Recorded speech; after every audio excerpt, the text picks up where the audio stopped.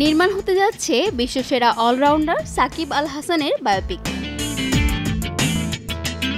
সাকিবের বায়োপিকের খবর প্রকাশে আসতেই নতুন আলোচনা শুরু হয়েছে নেট দুনিয়ায়। কে থাকছেন সাকিব শিশির চরিত্রে তা নিয়ে শুরু হয়েছে জল্পনা কল্পনা। এরই মধ্যে নেটিজেনরা সাকিবের স্ত্রী শিশির চরিত্রে এগিয়ে রাখছেন জনপ্রিয় অভিনেত্রী মেহজাবিন চৌধুরীকে। কারণ হিসেবে অনেকে বলছেন মেহজাবিনের সঙ্গে শিশিরের চেহারায় অনেকটাই মিল রয়েছে। আর তিনি দুর্দান্ত অভিনেত্রী। অন্যদিকে সাকিব আল হাসান চরিত্রে দুজনের নাম শোনা যাচ্ছে।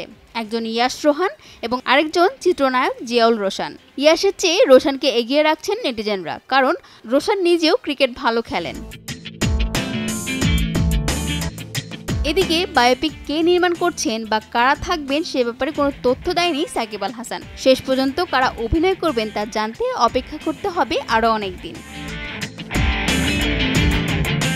এর আগে বাংলাদেশের কোনো ক্রিকেটারকে নিয়ে বায়োপিক নির্মাণ হয়নি। ফলে সাকিবের বায়োপিকের ঘোষণা আসতেই তা টক অব দ্য টাউনে পরিণত হয়েছে। ওদিকে কপিল দেব, মহেন্দ্র সিং ধোনি সচিন টেন্ডুলকার আজহারউদ্দিন সহ অনেক কিংবদন্তি ক্রিকেটারের জীবনে উঠে এসেছে বড় পর্দায়। সেগুলোর মধ্যে সবচেয়ে আলোড়ন সৃষ্টি করেছিল ধোনির বায়োপিক। ফাতেমায়ানি সময় সংবাদ ঢাকা।